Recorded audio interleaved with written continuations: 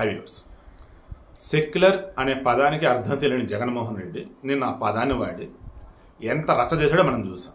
తర్వాత నా మతం మానవత్వం రాసుకుంటూ ఒక ఓవర్ యాక్షన్ చేసి ఒక డైలాగ్ కొట్టాడు. మానవత్వం ఏంటంటే ఆయనకున్న మానవత్వం?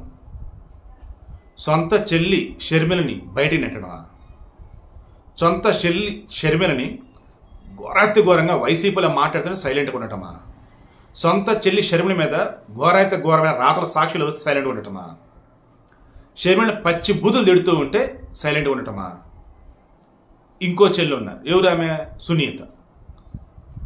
నాయన చనిపోయినాడన్నా ఏంది అంటే చెల్లి సిబిఐ ఎంక్వైరీ రేపిద్దాం అని చెప్పినాడు ఆ రోజు ప్రతిపక్షంలో ఉన్నాక రెండు నెలల్లోనే గెలిచాడు ముఖ్యమంత్రి అయ్యాడు.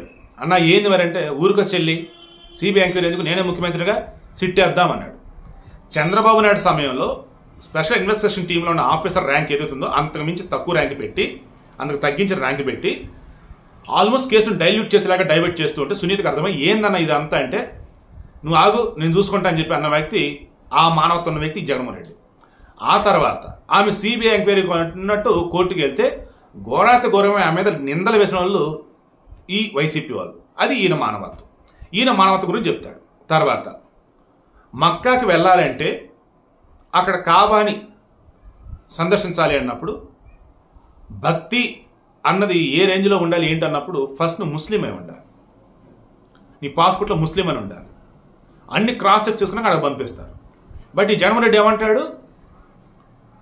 ఎవరికి నచ్చిన మతం వాళ్ళు పాటించవచ్చు. ఎవరైనా ఎక్కడికైనా వెళ్ళొచ్చు అంటాడు. ఇది నీకు తెలిసింది. బేసిక్స్ తెలియవు ఫండమెంటల్స్ తెలియవు మానవత్వం తర్వాత సంగతి. అండ్ మెయిన్గా ఒక ఇంట్లో అన్నదమ్ముడిగా ఉన్నప్పుడు అక్క చెల్లెల్ని ఎలా చూసుకోలేంటి అవి తెలియదు ఏ కాడికి వాళ్ళ ఆవిడ ఏది చెప్తుంది? ఇది క్లియర్గా షర్మిలనే చెప్పింది.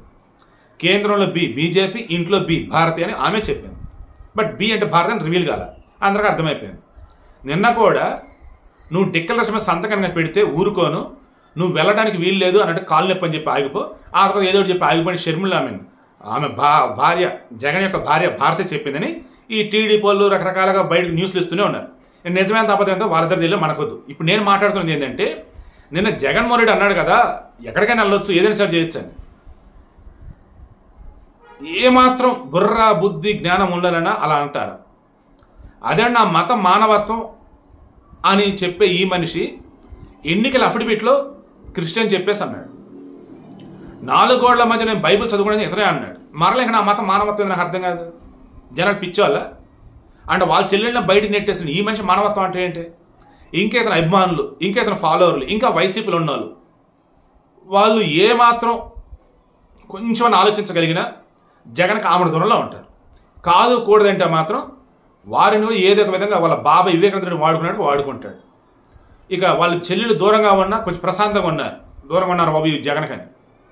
ఎందుకంటే ఆ మానవత్వం మేము తట్టుకోలేరు బాబు అన్నట్టు వాళ్ళు. జగన్ మానవత్వం అబ్బో గొప్ప మానవత్వం మాకు తెలుసు అని అనుకుంటూ ఉంటే మీరైతే జాగ్రత్త.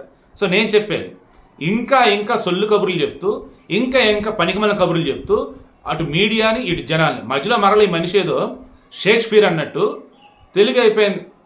ఇంగ్లీష్లో నాలుగు పదాలు చెప్తా. ఇంగ్లీష్లో నాలుగు పదాలు చెప్తా. నేషనల్ మీడియా కూడా తెలియాలి కదా. ఈయన ఒకటే ఇంగ్లీష్ వచ్చినట్టు మరి. ఆ ఇంగ్లీష్ మీద గొప్ప ఉంటుంది అది కూడా ఉండదు. సరిగా తెలుగు రాదు సరిగా ఇంగ్లీష్ రాదు. ఇంట్లో సరిగా చూసుకోడు బయట వాళ్ళు ఇంకా వదిలేస్తాడు. మరి ఆ మనిషి సైకలాజికల్ కరెక్ట్గా ఉన్నాడో లేడో అండ్ ఫైనల్లీ ఓవరాల్గా చూసుకుంటూ ఉన్నప్పుడు ఆ మనిషి చుట్టూతో ఉండే వాళ్ళు ఎవరైతే ఉన్నారో వాళ్ళని సక్రమంగా ఉన్నారో కూడా నాకు అర్థం కావట్లేదు. మీరైతే ఇక నుంచైనా వైసీపీకి జగన్ అయితే దూరంగా అయితే ఉండండి. అండ్ అల్టిమేట్ అల్టిమేట్గా నేను చెప్తున్నది ఏంటంటే ముందు మన ఇంట్లో మనం చక్కగా చూసుకుంటే మన కష్టాల్లో ఉన్న మనలో అంటూ ఉన్న వాళ్ళు సపోర్ట్గా ఉంటారు. మన ఇంట్లో మనం చక్కగా చూసుకోకపోతే బయట వాళ్ళు సైతం వస్తారు